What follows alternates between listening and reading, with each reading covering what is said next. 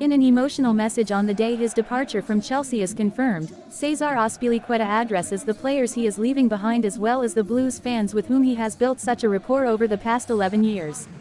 I'd like to say so many things, but I'm going to keep it short. I want to say every time you are part of this club you give your best. That's how I learned to be part of Chelsea. The demands are really high, the commitment to the club, to the fans, every single day, even in tough moments when maybe it's easier to go down a different path. That's the moment to show the personality, the soul of the club, all together, pushing in the same direction. I know Chelsea will be back where it should be. To the fans, I tried to give back all the love and support you have given me since I arrived. You called me Dave since the first day and I didn't know what it meant, but I felt a connection straight away. The relationship on the pitch, off the pitch, is something I will take with me. It will stay forever. Hopefully I can come back one day here to say a proper goodbye to all of you. Keep supporting the team, the club you love. You are the soul of the club. Keep going. I love you all.